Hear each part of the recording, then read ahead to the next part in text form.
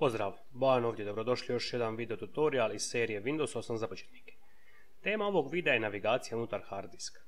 Sve u vašem računalu je spremljeno na hard disk, a kao korisnik Windowsa trebali bi znati kako koristiti navigaciju unutar hard diska. Ovdje koristimo Windows Explorer. Otvorimo ga. Također možemo izabrati izbornik Start, te kliknuti na ovaj PC.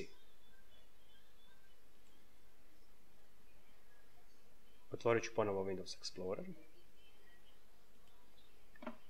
Te dvostruki klik na lokalni disk C. Ovdje vidimo mape instalirane od strane operativnog sustava ili programa. Kao na primjer mapa Windows i operativni sustav. Unutar program Files nalaze se instalirani programi, dok u mapi korisnici su dokumenti vezani za vaš korisnički račun. Mala napomena. Odavde nemojte ništa mijenjati, prebacivati, brisati, jer bi moglo doći do nepravilnog rada operativnog sustava ili programa. Pokazat ću vam osnovne elemente navigacije unutar mapa. Otvorimo Windows Explorer, te otvorimo streke.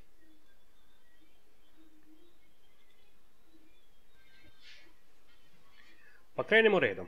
U gornjem lijevom kutu imamo ove strelice za naprijed i natrag. Odmah do je područje adrese. Ovdje vidimo gdje smo točno unutar navigacije. Na desnoj strani imamo traženje. Možemo pretraživati sadržaj mape po nazivu. E sad ono što je novo i drugačije u odnosu na Windows 7 je vrtica. Otvaram je klikom na ovu stranicu. Ovo je vrtica, a ovo su njene opcije. Krenimo sa polaznim. Ovdje imamo opcije izraži, kopiraj, premjesti, kopiraj izbriši i tako dalje. Pod zajedničkim korištenjem imamo opcije snimi na disk, ispiši, faksiraj, komprimiraj i ostalo.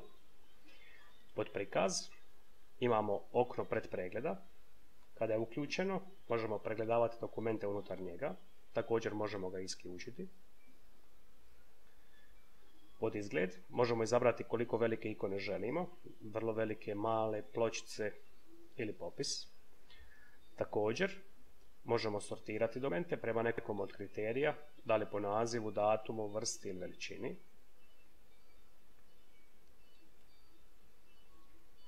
To bi bilo sve za ovaj video. Pozdrav i hvala na gledanju.